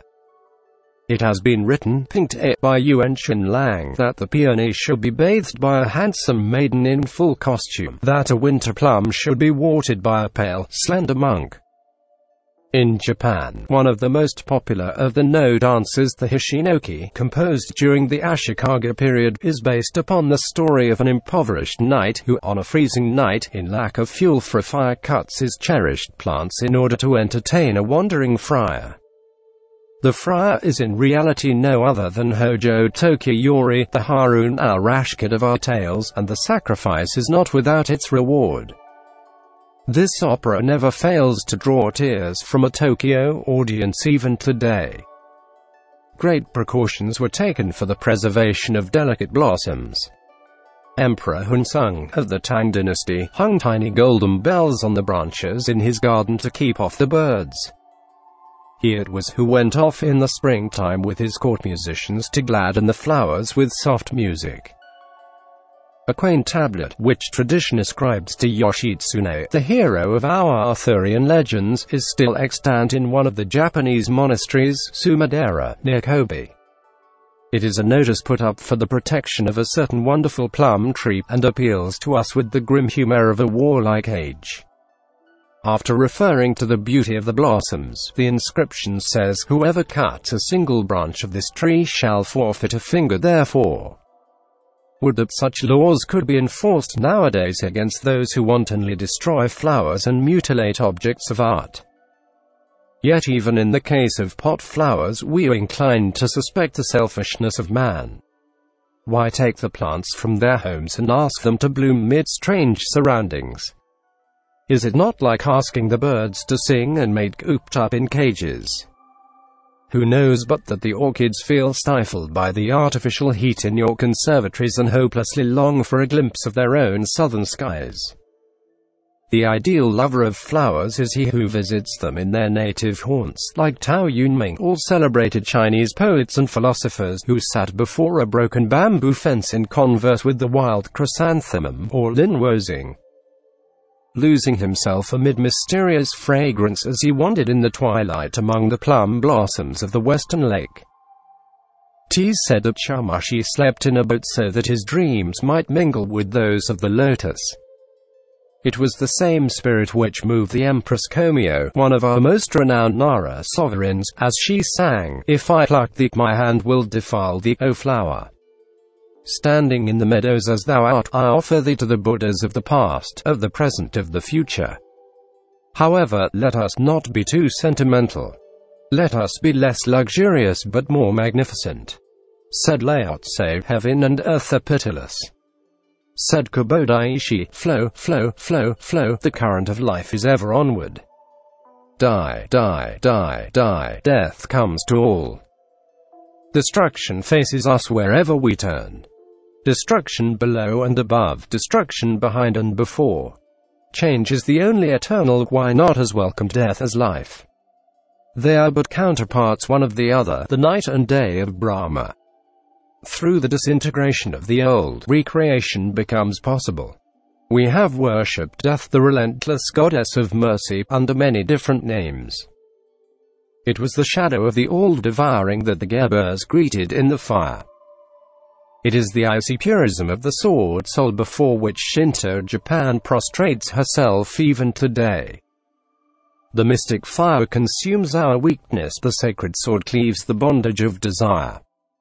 From our ashes springs the phoenix of celestial hope, out of the freedom comes a higher realization of manhood. Why not destroy flowers if thereby we can evolve new forms ennobling the world idea? We only ask them to join in our sacrifice to the beautiful. We shall atone for the deed by consecrating ourselves to purity and simplicity. Thus reasoned the tea masters when they established the cult of flowers. Anyone acquainted with the ways of our tea and flower masters must have noticed the religious veneration with which they regard flowers. They do not cull at random, but carefully select each branch or spray with an eye to the artistic composition they have in mind. They would be ashamed should they chance to cut more than were absolutely necessary. It may be remarked in this connection that they always associate the leaf, if there be any, with the flower, for the object is to present the whole beauty of plant life. In this respect, as in many others, their method differs from that pursued in Western countries. Here we are apt to see only the flower stems, heads as it were, without body, stuck promiscuously into a vase. When a tea master has arranged a flower to his satisfaction he will place it on the tokonoma, the place of honor in a Japanese room. Nothing else will be placed near it which might interfere with its effect, not even a painting, unless there be some special aesthetic reason for the combination. It rests there like an enthroned prince, and the guests or disciples on entering the room will salute it with a profound bow before making their addresses to the host. Drawings from masterpieces are made and published for the edification of amateurs. The amount of literature on the subject is quite voluminous. When the flower fades, the master tenderly consigns it to the river or carefully buries it in the ground. Monuments are sometimes erected to their memory. The birth of the art of flower arrangement seems to be simultaneous with that of teaism in the 15th century. Our legends ascribed the first flower arrangement to those early Buddhist saints who gathered the flowers strewn by the storm and, in their infinite solicitude for all living things, placed them in vessels of water. It is said that Soami, the great painter and connoisseur of the court of Ashikaga Yoshimasa, was one of the earliest adepts at it. Juko, the tea master, was one of his pupils, as was also Seno, the founder of the House of Ikenobo, a family as illustrious in the annals of flowers as was that of the Kanos in painting. With the perfecting of the tea ritual under Rikyu, in the latter part of the 16th century, flower arrangement also attains its full growth. Rikyu and his successors the celebrated Oda Waraka, Furuka Waribe, Kayetsu Kobori Enshiu, Katagiri Sakishiu, vied with each other in forming new combinations. We must remember, however, that the flower worship of the tea masters formed only a part of their aesthetic ritual, and was not a distinct religion by itself. A flower arrangement, like the other works of art in the tea room, was subordinated to the total scheme of decoration. Thus Sakishiu ordained that white plum blossoms should not be made use of when snow lay in the garden. Noisy flowers were relentlessly banished from the tea room. A flower arrangement by a tea master loses its significance if removed from the place for which it was originally intended, for its lines and proportions have been specially worked out with a view to its surroundings. The adoration of the flower for its own sake begins with the rise of flower masters toward the middle of the 17th century. It now becomes independent of the tea room and knows no law save that the vase imposes on it. New conceptions and methods of execution now become possible, and many were the principles and schools resulting therefrom. A writer in the middle of the last century said he could count over 100 different schools of flower arrangement. Broadly speaking, these divide themselves into two main branches, the formalistic and the naturalesque. The formalistic schools, led by the Ikenobos, aimed at a classic idealism corresponding to that of the Kano academicians. We possess records of arrangements by the early masters of the school which almost reproduce the flower paintings of Sansetsu and Tsunenobu. The naturalesque school, on the other hand, accepted nature as its model, only imposing such modifications of form as conduce to the expression of artistic unity. Thus we recognize in its works the same impulses which formed the ukiyo-e and shijo schools of painting. It would be interesting, had we time, to enter more fully than it is now possible into the laws of composition and detail formulated by the various flower masters of this period, showing, as they would, the fundamental theories which govern Tokugawa decoration we find them referring to the leading principle heaven, the subordinate principle earth, the reconciling principle man, and any flower arrangement which did not embody these principles was considered barren and dead. They also dwelt much on the importance of treating a flower in its three different aspects, the formal, the semi-formal, and the informal. The first might be said to represent flowers in the stately costume of the ballroom, the second in the easy elegance of afternoon dress, the third in the charming déshabillé of the boudoir. Our personal sympathies are with the flower arrangements of the tea master rather than with those of the flower master. The former is art in its proper setting and appeals to us on account of its true intimacy with life. We should like to call this school the natural in contradistinction to the naturalesque and formalistic schools. The tea master deems his duty ended with the selection of the flowers, and leaves them to tell their own story. Entering a tea room in late winter, you may see a slender spray of wild cherries in combination with a budding camellia. It is an echo of departing winter coupled with the prophecy of spring. Again, if you go into a noon tea on some irritatingly hot summer day, you may discover in the darkened coolness of the tokonoma a single lily in a hanging vase, dripping with dew. It seems to smile at the foolishness of life. A solo of flowers is interesting, but in a concerto with painting and sculpture the combination becomes entrancing. Sakishi once placed some water plants in a flat receptacle to suggest the vegetation of lakes and marshes, and on the wall above he hung a painting by Soami of wild ducks flying in the air. Shoha, another tea master, combined a poem on the beauty of solitude by the sea with a bronze incense burner in the form of a fisherman's hut and some wild flowers of the beach. One of the guests has recorded that he felt in the whole composition the breath of waning autumn. Flower stories are endless. We shall recount but one more. In the 16th century the morning glory was as yet a rare plant with us. Rikiu had an entire garden planted with it, which he cultivated with assiduous care. The fame of his convolvuli reached the ear of the Taiko, and he expressed a desire to see them, in consequence of which Rikiu invited him to a morning tea at his house. On the appointed day Taiko walked through the garden, but nowhere could he see any vestige of the convolvulus. The ground had been leveled and strewn with fine pebbles and sand. With sullen anger the despot entered the tea room, but a sight waited him there which completely restored his humor. On the tokonoma, in a rare bronze of sung workmanship, lay a single morning glory, the queen of the whole garden. In such instances we see the full significance of the flower sacrifice. Perhaps the flowers appreciate the full significance of it. They are not cowards, like men. Some flowers glory in death certainly the Japanese cherry blossoms do, as they freely surrender themselves to the winds. Anyone who has stood before the fragrant avalanche at Yoshino or Arashiyama must have realized this. For a moment they hover like bejeweled clouds and dance above the crystal streams. Then, as they sail away on the laughing waters, they seem to say, Farewell, O spring. We are on to eternity. Part 7. Tea Masters. In religion the future is behind us. In art the present is the eternal. The tea masters held that real appreciation of art is only possible to those who make of it a living influence.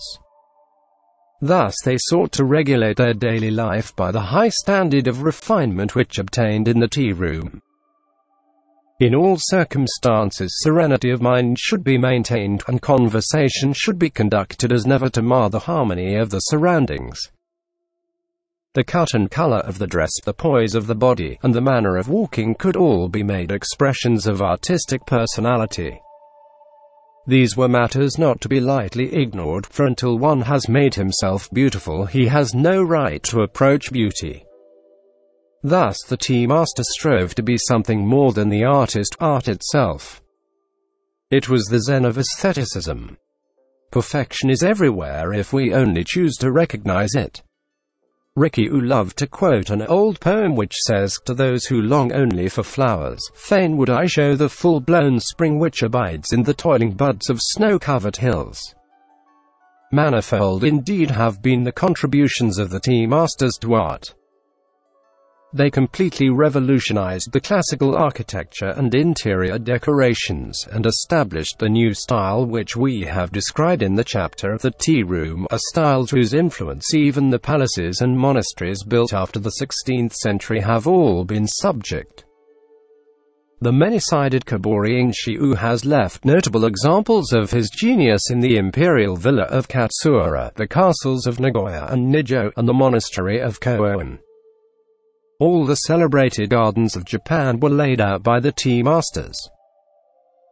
Our pottery would probably never have attained its high quality of excellence if the tea masters had not lent it to their inspiration, the manufacture of the utensils used in the tea ceremony calling forth the utmost expenditure of ingenuity on the parts of our ceramists.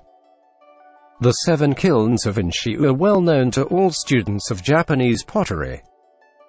Many of our textile fabrics bear the names of tea masters who conceived their color or design. It is impossible, indeed, to find any department of art in which the tea masters have not left marks of their genius. In painting and lacquer it seems almost superfluous to mention the immense services they have rendered. One of the greatest schools of painting owes its origin to the tea master Honami Kayetsu, famed also as a lacquer artist and potter. Beside his works, the splendid creation of his grandson, Koho, and of his nephews, Korin and Kenzan, almost fall into the shade. The whole Korin school, as it is generally designated, is an expression of teaism. In the broad lines of this school we seem to find the vitality of nature herself. Great as has been the influence of the tea masters in the field of art, it is as nothing compared to that which they have exerted on the conduct of life. Not only in the usages of polite society, but also in the arrangement of all our domestic details, do we feel the presence of the tea masters. Many of our delicate dishes, as well as our way of serving food, their inventions. They have taught us to dress only in garments of sober colors. They have instructed us in the proper spirit in which to approach flowers. They have given emphasis to our natural love of simplicity, and shown us the beauty of humility. In fact, through their teachings tea has entered the life of the people. Those of us who know not the secret of properly regulating our own existence on this tumultuous sea of foolish troubles which we call life are constantly in a state of misery while vainly trying to appear happy and contented.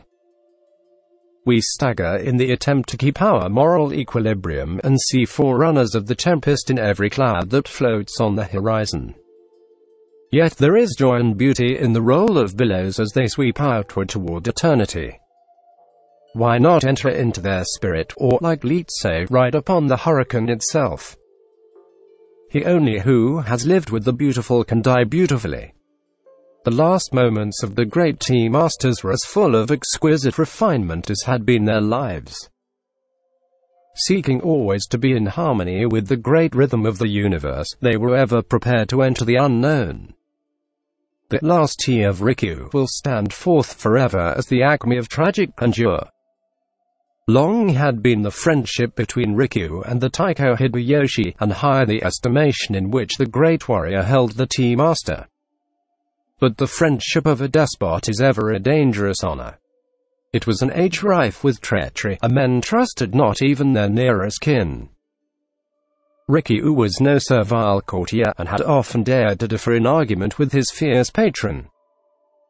Taking advantage of the coldness which had for some time existed between the Taiko and Rikyū, the enemies of the latter accused him of being implicated in a conspiracy to poison the despot.